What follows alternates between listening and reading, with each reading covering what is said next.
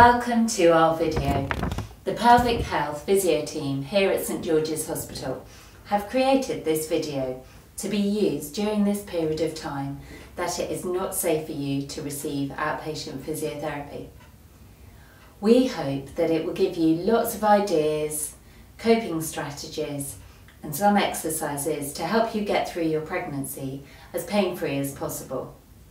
Please do download the links to patient leaflets that will be at the end of this video. You can print these off at home. Enjoy watching!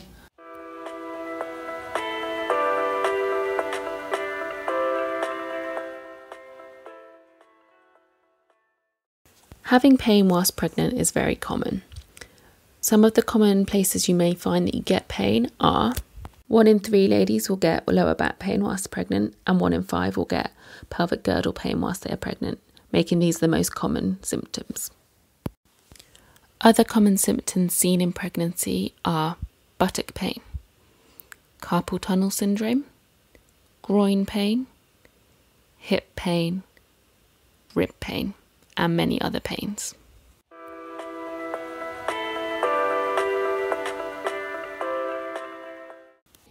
There are several factors that may cause pain during your pregnancy. These include hormonal changes, weight gain, postural changes, and some changes to the muscles in your body. Let's go through these one by one. Let's start with hormones. Hormonal changes occur throughout your pregnancy. There's a hormone called relaxin that is released on day one, and this will stay in your body till three days postnatally. You also have another hormone called progesterone, um, and these hormones um, enable ligaments and muscles to soften, allowing your body to accommodate for your growing baby as well as preparing you for giving birth. The hormones will also affect all of your ligaments and your soft tissues throughout the body, giving your joints a little bit less support and therefore making these joints a little bit more likely to suffer aches and pains. Secondly, weight gain. It is normal and healthy to gain weight during pregnancy. Typically women will put on between 9 and 15 kilos. Your growing baby, your uterus, amniotic fluid, your um, breast tissue, increased volumes of blood um, and fluid retention all play a role in this weight gain.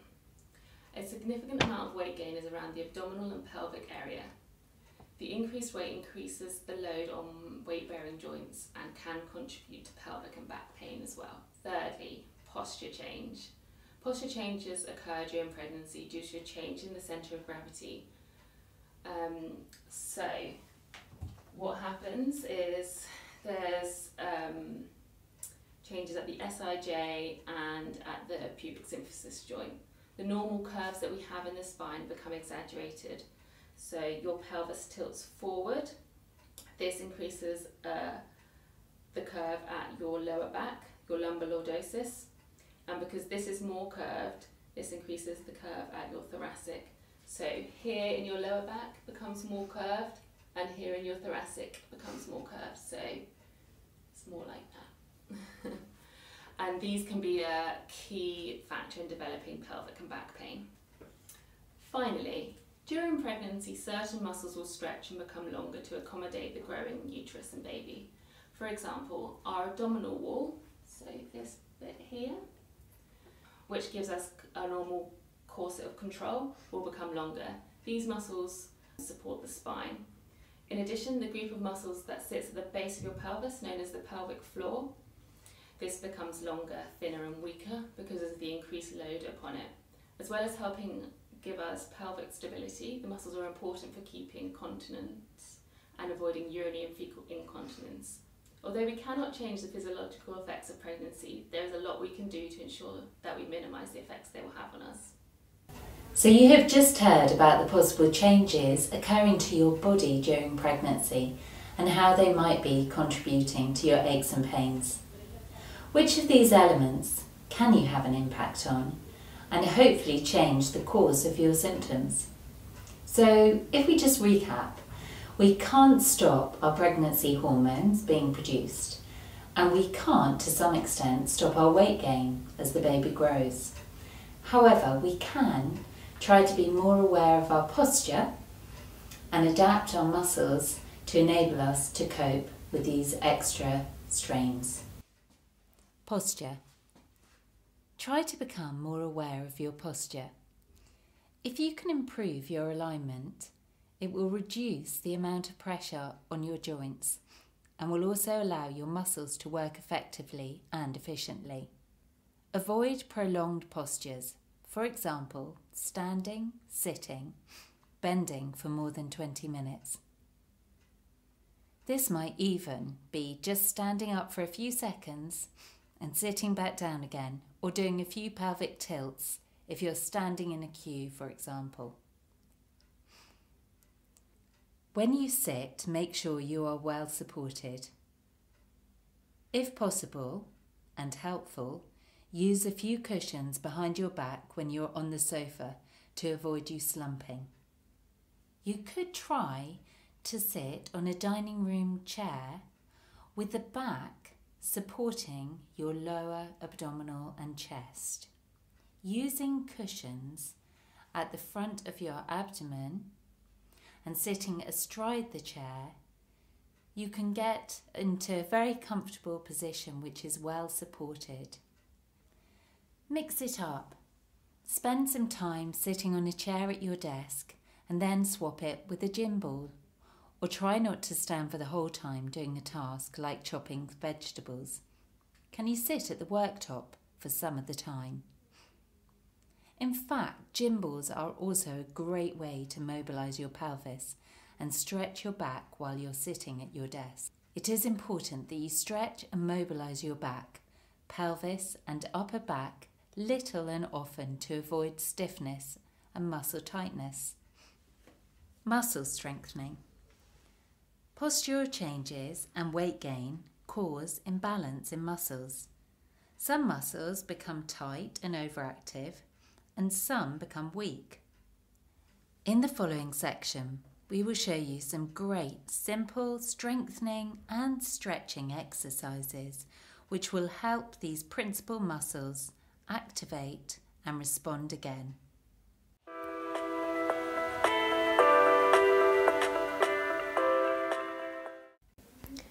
There are a number of muscular changes during pregnancy which can contribute to pregnancy related pain. The main muscles affected are pelvic floor muscles. The pelvic floor muscles are located at the bottom of your pelvis. They are a sling of muscles that run from the tailbone to the pubic bone. And they come around the exit of your bladder and your anus and support the walls of your vagina. During pregnancy, as the baby grows, the pressure on the pelvic floor increases and when you give birth, a lot of pressure is put onto the pelvic floor. Both of these things weaken the pelvic floor muscle, and that's why it's even more essential to strengthen these muscles during pregnancy and after childbirth. There are two exercises that strengthen the pelvic floor. The first exercise is squeezing your back passage like you are trying to stop yourself passing wind, squeezing your front passage like you are trying to stop yourself passing urine, and an internal lift Hold this for up to 10 seconds and then fully relax. After 5 seconds, repeat this again. You want to repeat this in total 10 times. The second exercise is squeezing your back passage, like you're trying to stop yourself passing wind, squeezing your front passage, like you're trying to stop yourself passing urine, and an internal lift, and then immediately relax. Repeat this up to 20 times. No other muscles in your body should be contracting whilst you're doing this exercise. You want to repeat both of these exercises four times a day. Transverse abdominis. Transverse abdominis is a deep core muscle that runs from the bottom of the rib cage to the top of the pelvis. It is like a corset around the abdomen. It helps with core stability and supporting your bump during pregnancy. There are a few exercises you can do to strengthen the transverse abdominis. We'll go through a few of them now. Lie on your back with your knees bent and feet flat on the floor. You may require a wedge pillow to lie back on. Place your hands on either side of your bump and keep your gaze up to the ceiling as you inhale.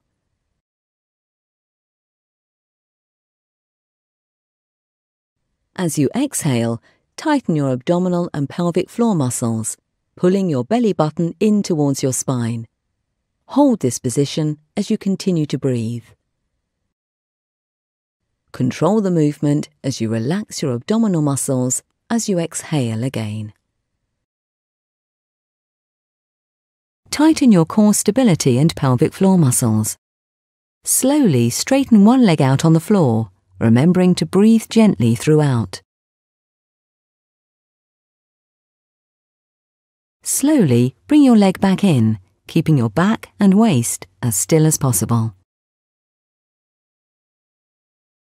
Start on your hands and knees, with your hands under your shoulders and knees under your hips. Focus your gaze between your hands and inhale. As you exhale, tighten your abdominal and pelvic floor muscles, pulling your belly button in towards your spine. Hold this position as you continue to breathe. Control the movement as you relax your abdominal muscles as you exhale again. Rectus abdominis. These are a top layer of muscles covering your abdomen. These muscles are more commonly known as your abs. They run from your rib cage to your pubic bone. They are in two halves and are joined by a strip of tissue called the linea alba. As your baby grows, more pressure is put onto your rectus abdominis, and this can cause the linea alba to stretch. This is completely normal and natural. You want to try and avoid making this stretch more than necessary, so try to avoid the movement of coming from lying on your back to sitting up straight, as this puts unnecessary pressure on the rectus abdominis and the linea alba. We will discuss how to do this differently later on in the video. Quadratus lumborum. This is a back muscle that runs from the top of the hips to the spine and last rib. This muscle can become tight during pregnancy due to the forward tilt position of the pelvis that can develop, meaning that the muscle is kept in a shortened position, therefore becoming tight. The way to stretch this muscle is Sit upright on a firm chair. Place one hand securely on the side of the chair and lift the other arm into the air. Lean your elevated arm over your head, allowing your ribs to gently flare out to one side and hold. Release and lower your arm back down and repeat on the other side. The gluteal muscles. The gluteal muscles are one of the biggest muscle groups in the body. There are three muscles that make up this group gluteus minimus, gluteus medius, and gluteus maximus. Gluteus minimus and medius are responsible for moving the leg out to the side, and gluteus maximus is responsible for moving the leg and the hip back.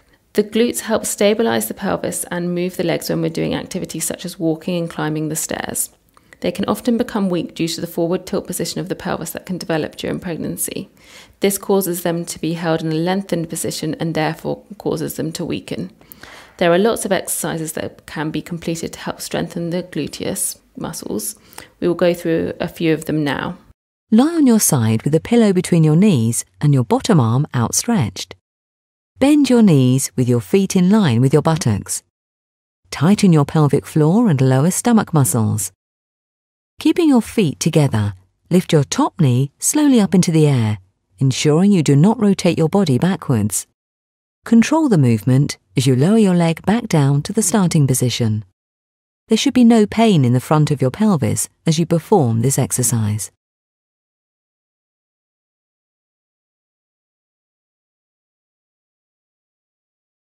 Start on your hands and knees with your hands under your shoulders and knees under your hips. Make sure your back is flat. Gently tighten your pelvic floor and stomach muscles.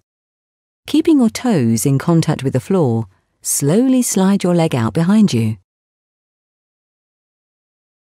Slide your leg back into the starting position and then repeat with the other.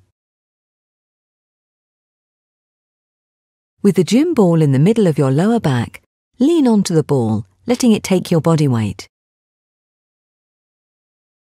Keeping your back straight, slowly bend both of your knees, sinking your hips straight down towards the floor. Aim to achieve a 90 degree bend at your knees, or as far as you can manage comfortably. Control the movement as you straighten back up to the starting position. The glutes can also become overworked and tight during pregnancy due to the increasing weight of your baby. You can stretch them by Start on your hands and knees. Slide your left knee forward on the floor allowing enough space to cross your right leg over the back of your left calf. From this position, carefully sit back, allowing a gentle and controlled stretch in the right buttock while you exhale. If you feel that this position is putting too much pressure on your stomach, you can bring your hands closer and sit slightly more upright. Coming back up, inhale and push your right shin into the floor. Uncross your legs behind you and come back into a neutral all fours position. Piriformis. The piriformis is a small muscle in your bottom underneath the glutes muscles. It runs from the bottom of your spine to the top of your hip. This muscle tends to get very tight if the glutes become weak. The problem with this muscle being tight is that the sciatic nerve runs just behind the piriformis and can become irritated if the piriformis is tight. The way to stretch out the piriformis is Cross the symptomatic leg your ankle is resting on to the opposite knee. Apply gentle pressure to the knee as you lean forward, increasing the depth of the stretch. Hold this position. You should feel a comfortable tension with no pain. if you are finding this stretch is aggravating your pain, then you need to stop. Adductors. The adductors are a group of muscles that run along the inside of your leg that attach onto your pubic bone at the front of your pelvis. These muscles can become tight during pregnancy and can increase the pain felt around the groin and the pubic bone. The way to stretch out these adductors are Take a large step out to the side and keep both feet on the floor with the toes slightly turned out. Shift your weight to one side, bending this knee. You will feel a stretch down the inside of the thigh on the straight leg. Hold this position. if you are finding this stretch is aggravating your pain, then you need to stop.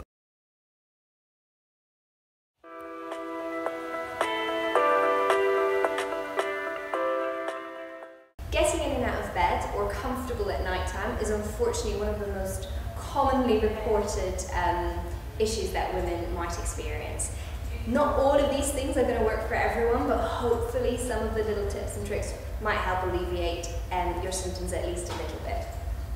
Most women will actually prefer lying on something softer.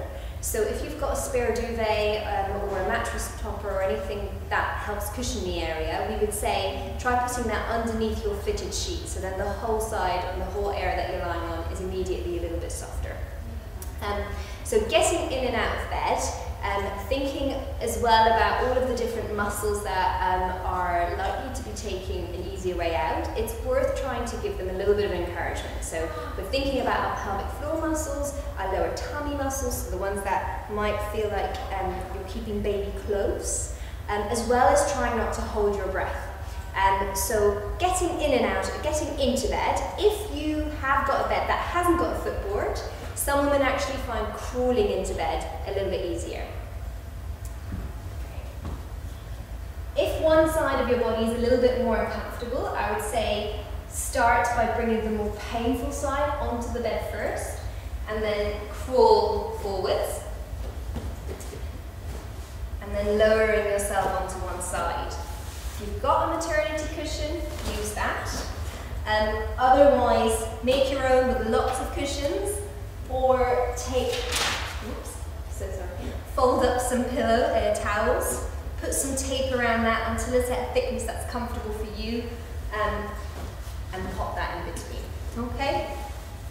Now, uh, within your um, second trimester, around 27 weeks, we would encourage all women to try and fall asleep on your sides. Now, you will still need to move at night time, and that's often what can be quite effortful.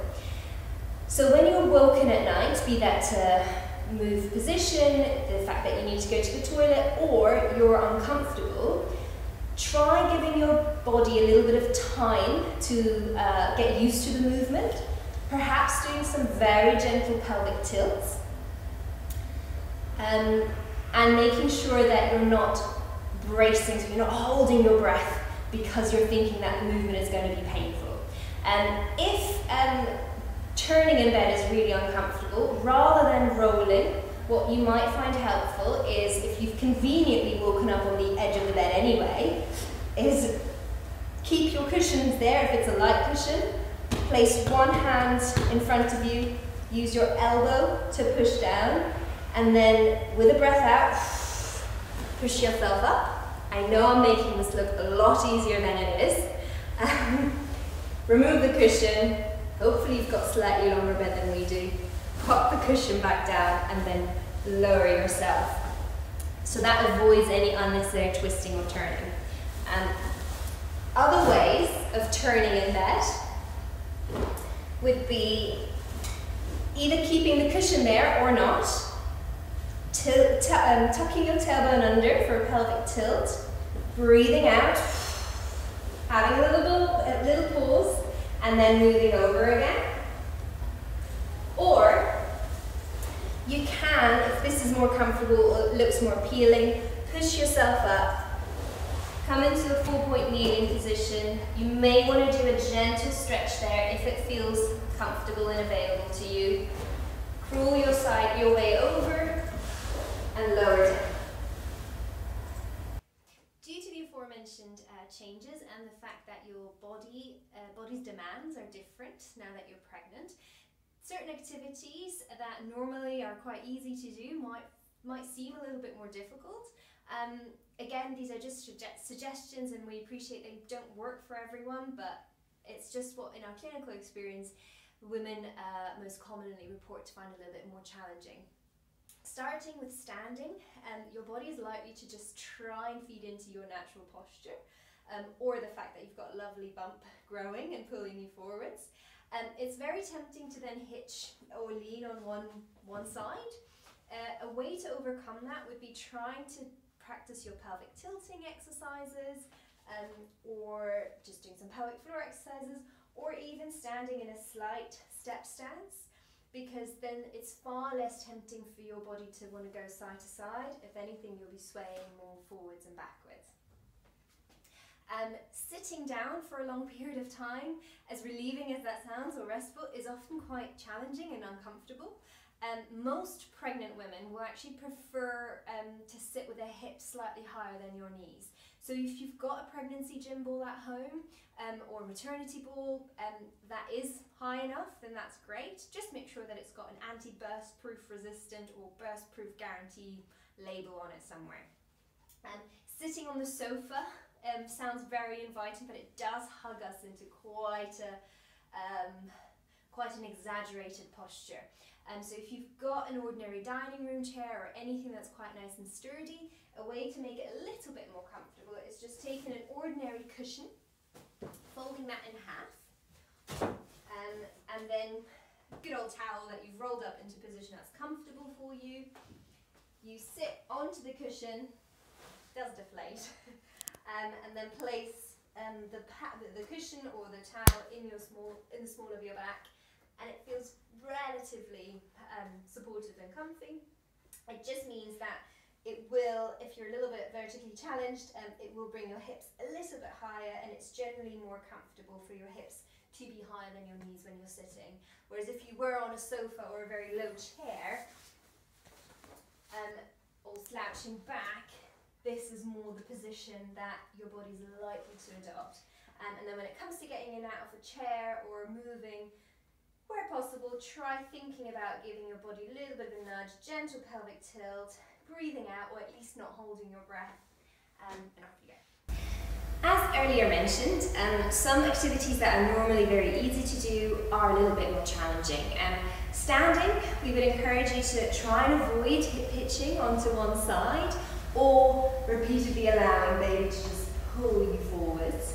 Um, instead, you can adopt a small step stance. So I've got one foot slightly in front of the other, which just instantly makes it less inviting for me to want to shift onto one side. Instead, I might want to sway forwards and backwards, or with feet together, you can just do some gentle pelvic tilting. So a nice way of thinking about what pelvic tilting should feel like, it's a very subtle and soft movement.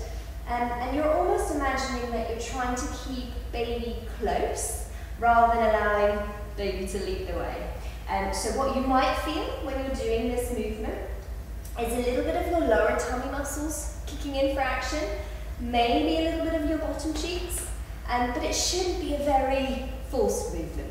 Um, Right, getting on and off the floor is something that you are likely to have to do, but a lot of you will be dreading.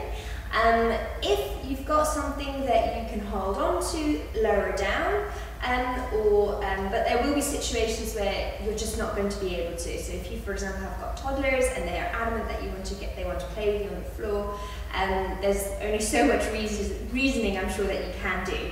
So things that can be helpful is trying to keep the same amount of weight through both legs. So slowly lowering down onto your knees and staying in a high kneeling position and getting um, the little ones to bring things to you to play can be quite nice. I'll just turn to the side so you can see. Again, we would say try not to allow um, bump to pull you forwards. Keep a little bit of sort of a subtle activation, should we say. And sitting down, you may want to pop a cushion um, in between your uh, heels and butt bottom, um, rather than shifting onto one side. And um, this is often a position, or getting out of this position is often what's really uncomfortable.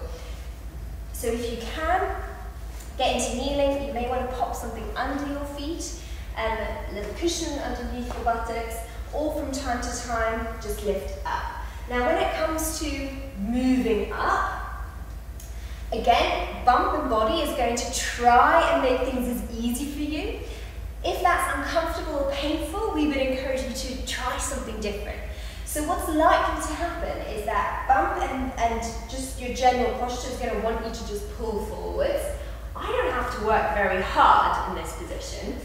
Um, instead, we would encourage you to try and think about your pelvic tilting again, so keeping bump close and lifting up. Now, all that small movement has done is really made me feel like my my quad, my uh, the, the muscles in the front of my legs are having to work a little bit harder.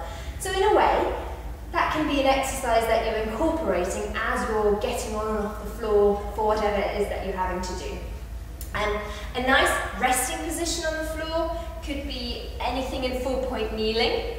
So even just resting in this position, you can take a cat cow, you can move your tailbone side to side, you can walk your hands over to one side so you get a nice stretch. I will just show you these stretches from a different angle. So this is my um, cat. So you should feel a stretch along the back and top. You may want to just move your tailbone side to side. You can do some circles, or you can do something that can call a half movement position, I guess.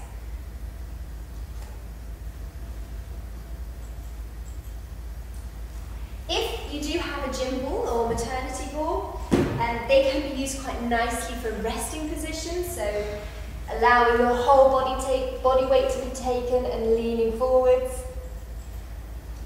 Um, so you might want to watch the telly from here. Um, and sitting on the gym balls can also be quite nice um, to do. We would encourage you to have your have one that has your hips higher than your knees. So this is a little bit tall for me, but I'm sure you get the gist. Getting back off the floor um, is often quite an, uh, a challenging uh, movement as well. So you've got a couple of different options. Some may find it better to just crawl forwards until they're uh, near a sofa or anything sturdy that they can help themselves push up and use their hands to get up from. Um, I would say um, if, if that isn't an option for you, um, come from a kneeling position, tuck your tailbone under a little bit, think about not holding your breath. If one side of your body is a little bit more uncomfortable, so if you've got pain more on one side, you may find it easier to bring your less painful side forwards first and then stand up. Um, or if you're someone who in the past um, has done a lot of yoga or Pilates, um, you may find that moving from a four point kneeling position, using your arms quite a bit, tucking your feet under and pushing up, and then moving your hands back is an option for you. Um, see which one resonates most with you and hopefully some of the uh, tips have been helpful for you.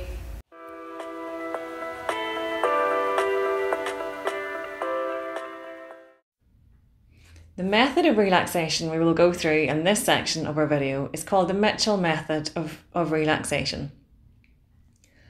Once learned and practiced, it can be used easily anywhere or anytime to help you to relax and reduce the muscle tension produced by stress. Life is full of events and times that may cause us to feel stressed, and pregnancy can be one of those times, particularly if you are experiencing pain. To start the session, get yourself into a comfortable position where your body is well supported. The room doesn't have to be dark and it does not need to be completely quiet. If possible, the room should be comfortably warm. There are three key instructions that we use for each body part. The first is that we move the body part away from the position of stress. The second is we then stop that movement and the third is that we feel and be aware of this new relaxed position. We'll start off with the shoulders. Pull your shoulders towards your feet, away from the ears, making the neck feel longer. Stop. Feel that your shoulders are lower down and that there's now a wider space between them and your ears. Straighten your elbows opening out the elbow joints. Stop. Feel the positions of your arms and elbows.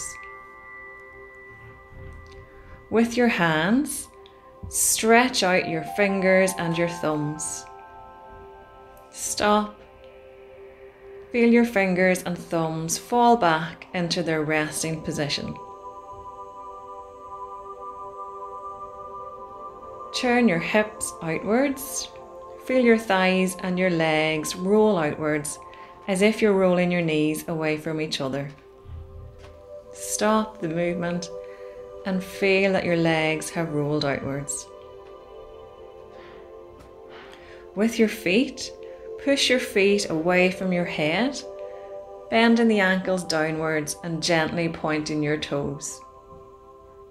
Stop the movement and feel the new relaxed position of your legs. Press your body onto the bed, chair, or the floor. Stop and feel this new relaxed position. Press your head into the pillow or the chair. Stop. Feel this new position. Take a deep breath in through your nose, and as you breathe out through your mouth, feel your tummy swell out. You can repeat this twice. The ribs move in and out, and breathe at a natural rate.